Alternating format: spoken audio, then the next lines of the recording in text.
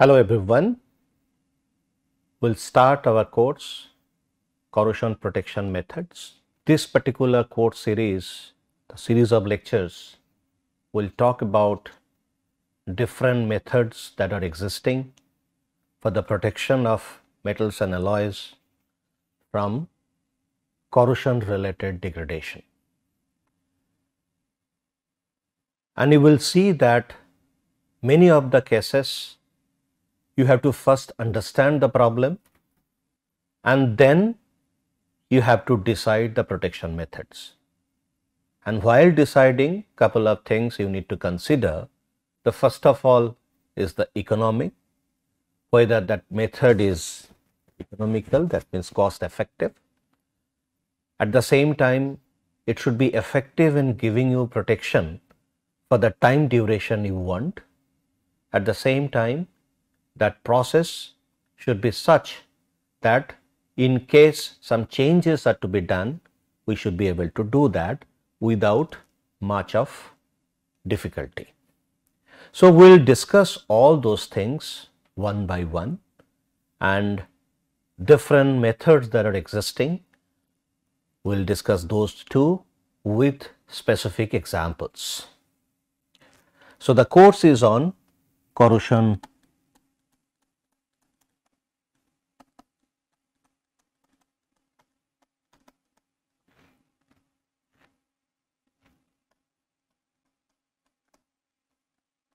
corrosion protection methods and this is the first lecture.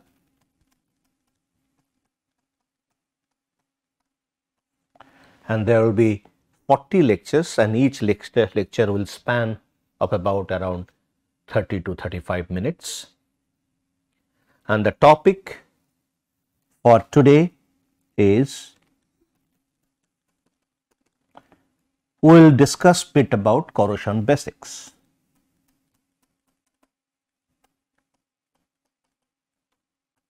Okay. Now, as we have seen, we have been deliberating on different aspects of corrosion like the definition of corrosion, then the mechanism related to thermodynamics, related to kinetics, as well as different forms of corrosion.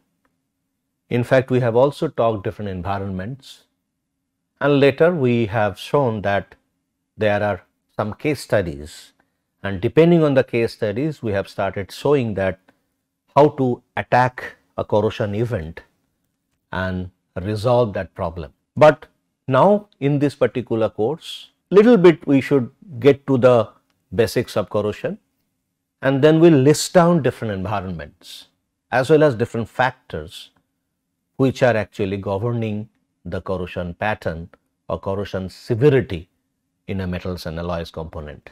And in fact, why we need to mention those? Because if we understand those parts carefully, then the method what we will choose or the method what we will design for the protection will be very easy to find. Okay. So, we just talk uh, very briefly on corrosion basics.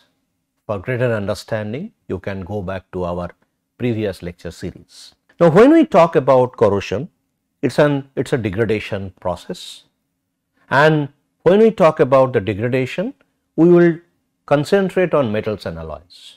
That means engineering components made out of metals and alloys. There are components like ceramics, made of ceramics, made of polymers. We will not get to that part, but we will concentrate on metals and alloys part. So, if we see the typical definition of corrosion.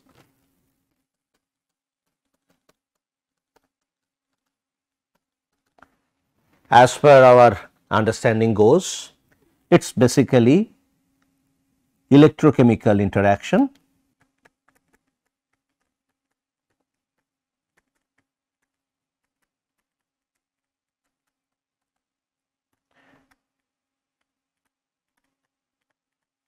Between metals, alloys with its environment.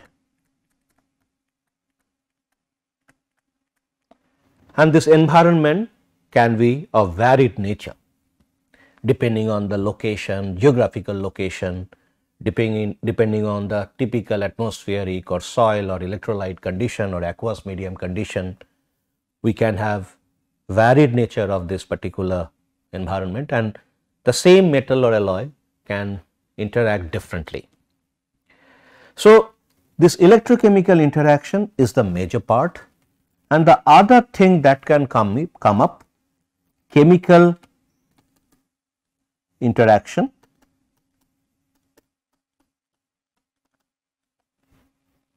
So, that means where we do not have any electron exchange process. So, this particular thing would actually enhance the dissolution process which is happening due to the exchange of electron. And there could be other factors like stress, like uh, surface condition or material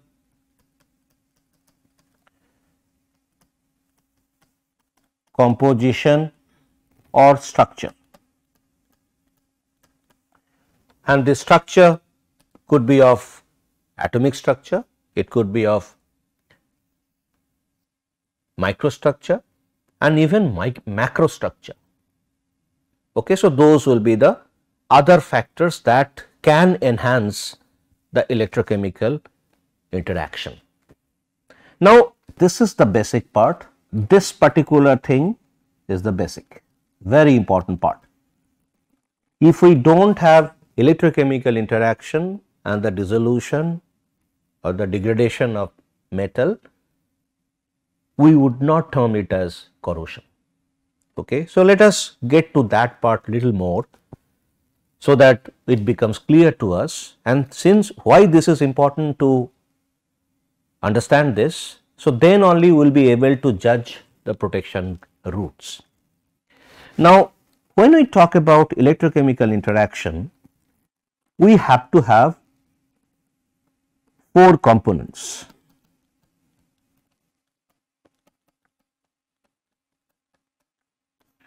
The four components, what are those components? One is anode where anodic or oxidation process happens and which is nothing but let us say a metal iron which releases 2 electron and goes to Fe plus plus.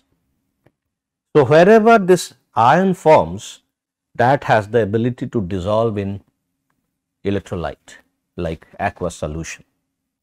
So, actually the corrosion is or the degradation is nothing but this that means the loss of metal in the form of ions.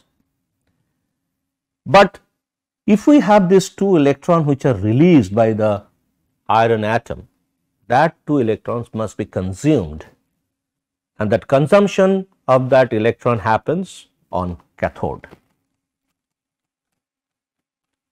So, cathode it is basically cathodic reaction or a reduction process.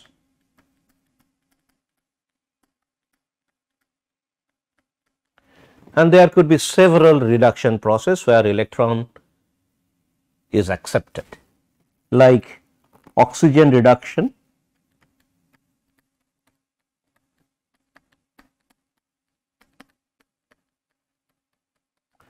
and this happens when pH is greater than equal to 7 in the neutral or basic medium. Again oxygen reduction can happen in acidic medium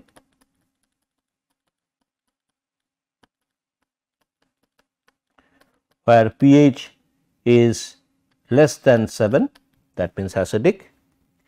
There could be hydrogen reduction, hydrogen ion reduction it happens pH less than 7. Water reduction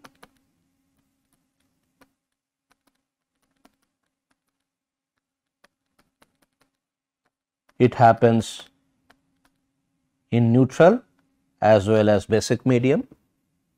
So, this is related to the dissolved oxygen that reacts and then cathodic reaction happens there. And everywhere you see those are electron accepting reactions that means reduction process and that way you are actually maintaining the charge balance. There could be process like metal ion reduction. There could be process like metal ion going from higher oxidation number to lower oxidation number. Okay. So, those processes can also happen provided those ions are present in that electrolyte and if those ions have a higher reduction ability. For example, if we consider copper and iron and we know there is a series called galvanic series and in the galvanic series copper is sitting on top of iron that means copper is a noble compared to iron. So, that means if there are two ions copper ion as well as iron ion the copper ion has the higher ability to get to copper by uh, taking two electrons and the reduction has the reduction of copper ion would be faster or would be a greater possibility than the reduction of iron ion. So, these are the several processes. There are lot more cathodic reactions those can happen depending on the species availability, but Basically, these are all cathodic reaction, which counter, which actually basically takes care of that, all those reaction take care of that electron, those are released by iron while forming iron ion. So, if you see this is let us say the iron surface. So, now iron ion goes out. So, this 2 electron. So, this 2 electron can go close to that particular dissolved site and then cathodic reaction can happen.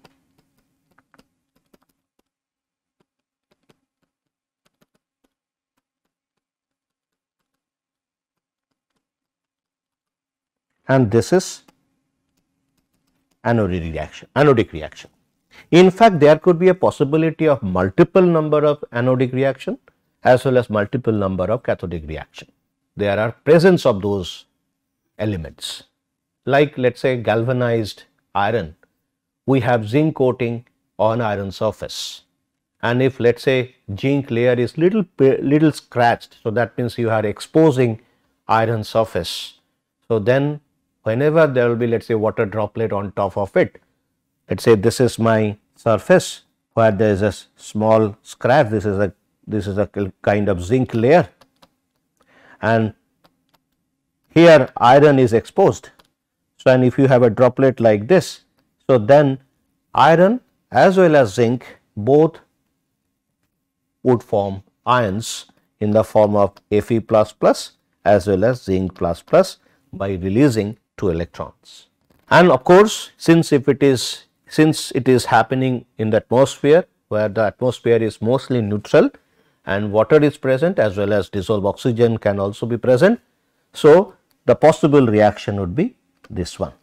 Okay. So, this is the cathodic reaction and there are two anodic reactions and out of that anodic two anodic reactions the kinetics of relative kinetics of those two reactions anodic reactions would decide which one would dissolve more at a higher rate and which one would dissolve at a lower rate. And generally when we have galvanic coating or zinc coating on iron surface and there is a scratch that means the iron is iron as well as zinc that couple is there, iron dissolution becomes much less compared to the zinc dissolution and that way we have galvanic protection of iron. So, this is actually iron protection route. In fact, how do we know? We know it from mixed potential theory. So, if you would like to get to that particular lecture, please go back and check those lectures. Fine. So, now what I mean to say that on anode oxidation process happens or we can say this is nothing but the corrosion process. Corrosion process and in fact if we see the cathode if we can make something cathode, we see that cathodic reaction happens, no ion formation, no dissolution of ion from that portion. So, we can say that if something we can make it cathode, we can protect it. Okay. So, this is the basic principle for cathodic protection. We will check that later on. Now, these are the two components. Now, what are other two components? Since we said that there are there should be four components. Now, other two components are one is electrolyte. Okay. So, this means this is we can say 1, this we can say 2, this is 3. Okay. Now, electrolyte what it does? It actually used for transfer of charge.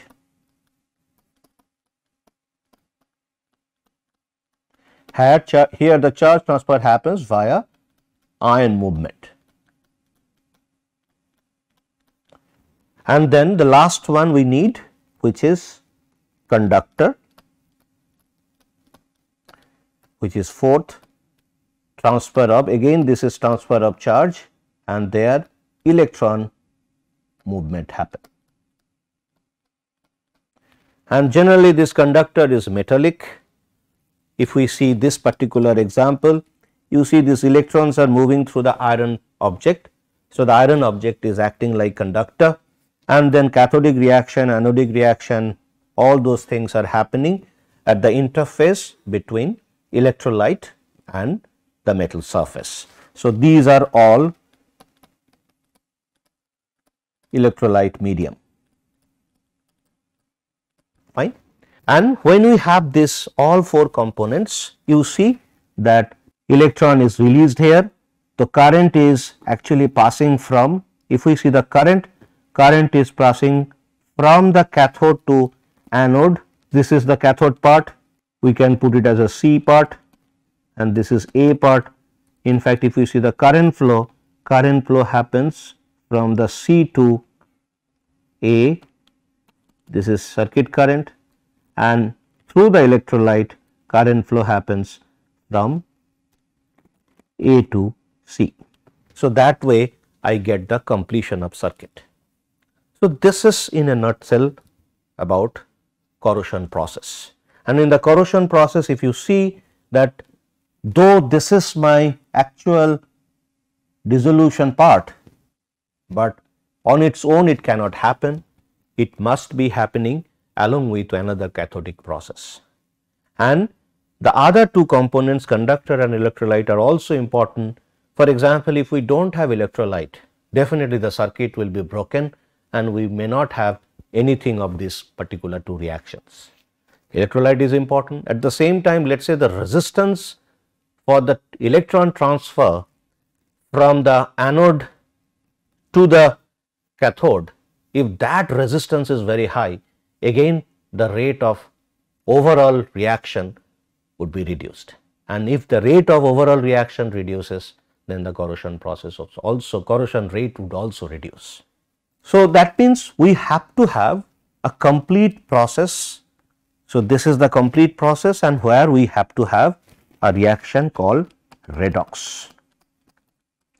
Why redox?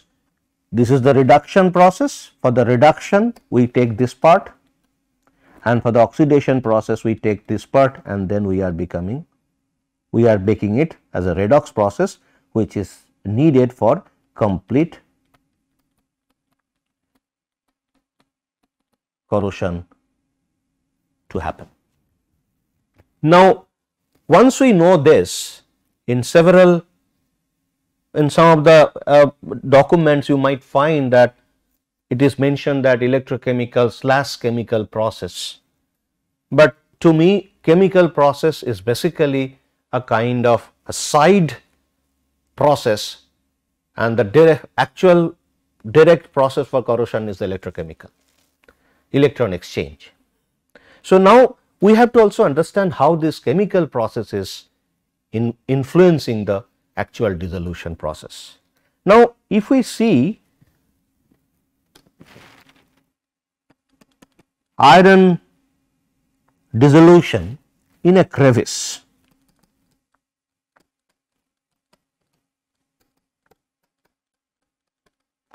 So, what is crevice? Crevice is a sharp corner. So, this is a crevice let us say.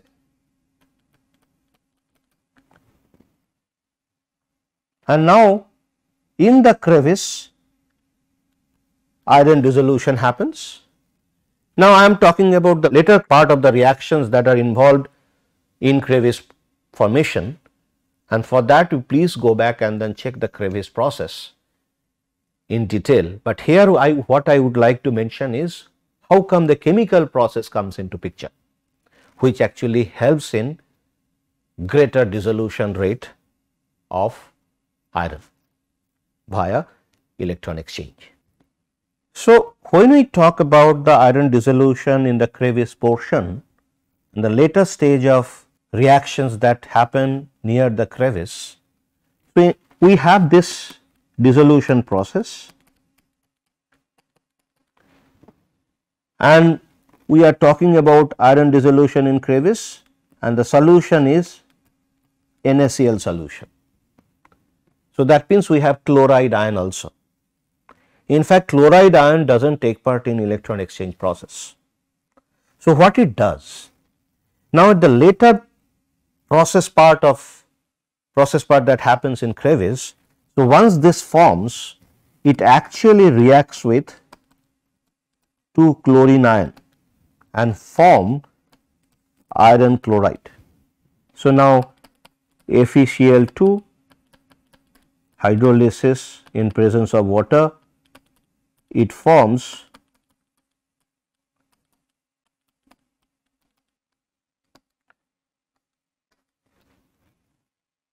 the reaction happens like this hydrolysis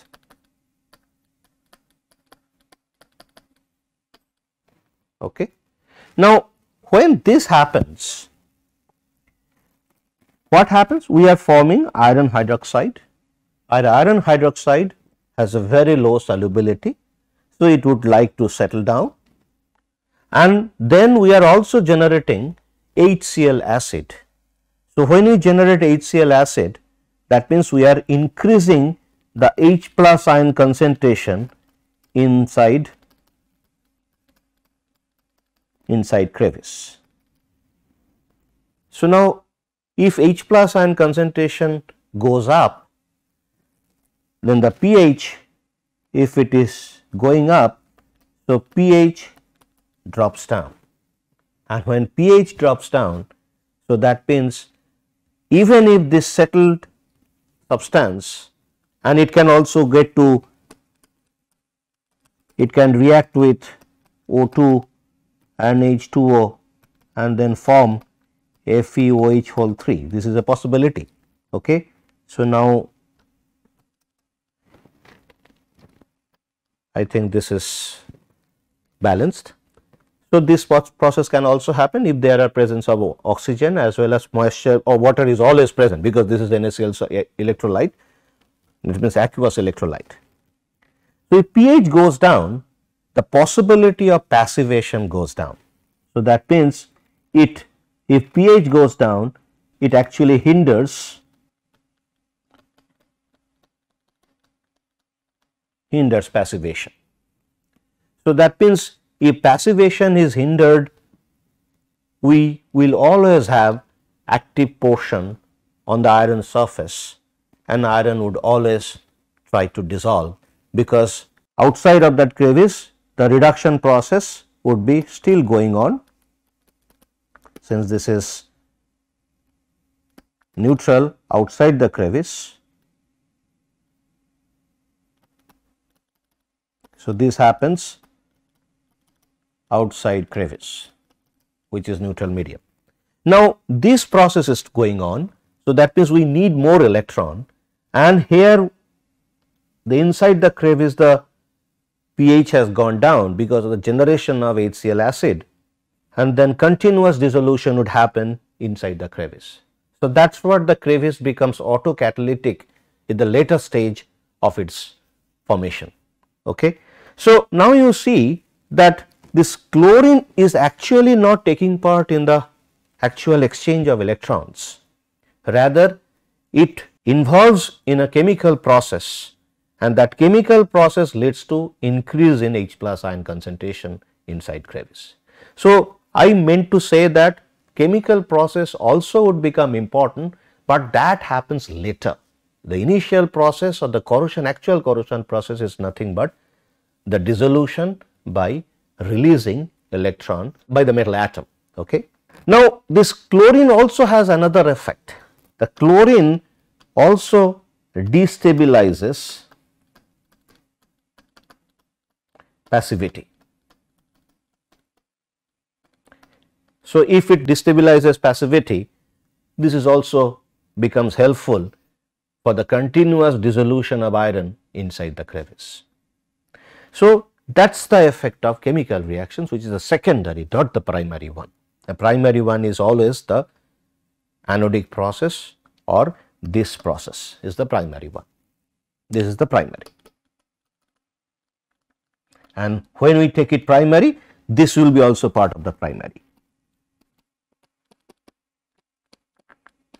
Okay. And if we combine this, it is actually forming redox. Okay. So, now we see that chemical process is secondary in nature. Similarly, the factors like stress, this is also secondary. In fact, it can also act as primary depending on whether stress related fracture happens in the presence of corrosive. So, if you want to check the stress corrosion cracking, sometimes the stress initially activates the surface and the corrosion happens and in, the, in another category where corrosion actually makes the crack or the point of crack propagation and the stress actually opens up the that particular point of attack. So, the stress here the primary part is becoming when stress guides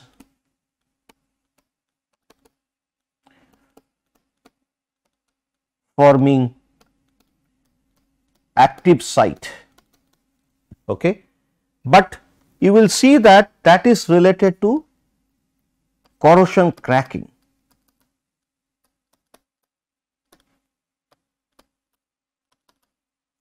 So, that time we can say that the stress guides forming active site that was the primary consideration for that failure.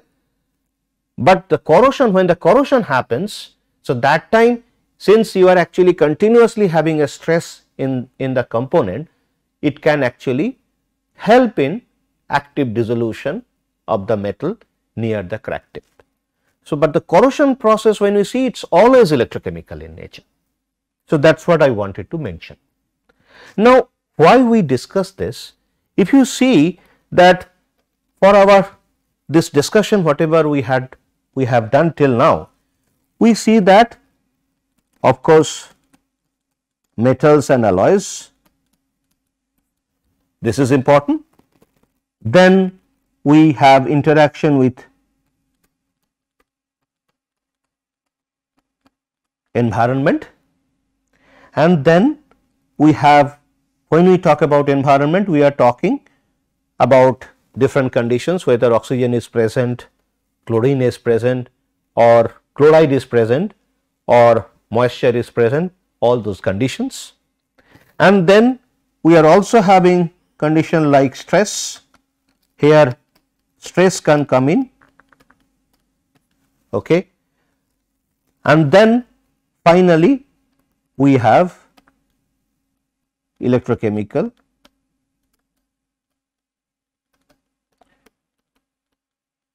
dissolution of metal leading to corrosion. So, now you see if we we have to have a proper idea about metals and alloys, we have to have a proper idea about environment and then we have to have idea about stress. Now, two more things are very important what we are not seeing in our discussion. What are those important factors? We have to consider the surface appearance. Why we have to be worried about it? Because the corrosion process always happens on the surface. So, the surface could be rough, could be smooth, could have different patterns and depending on that it could have different severity of corrosion. Now, another factor that is important, we are not talking about the design or the geometry part. Geometry part. So, the geometry part would also become important because when we talk about let us say shape, if we have a crevice there is a possibility of crevice. Now, the immediate consideration comes that how to stop crevice is basically closing down the crevice portion or we design in such a fashion that the crevice does not happen. Okay. So, this geometry also would come in. Okay. So, now these are the factors we have to know before we design some protection methods. And when we talk about these metals and alloys and interactions, here we are talking about interactions. When we talk about interactions, we should also have an understanding of electrochemistry. So, if we understand electrochemistry and depending on at what conditions we should choose a variation of potential of the metal to get a protection and on that fashion we can design whether that metal should be protected via anodic protection or cathodic protection. So, now you see we can actually understand protection if we understand these many factors. So, that is what I thought that it is very important to have a basic understanding of corrosion briefly and if we have to go to a deep uh, a depth of it please go back and see other lecture series by me. So, we will discuss about this environment, metals and alloys and stress, space surface appearance and geometry in our subsequent lectures. So, till then thank you.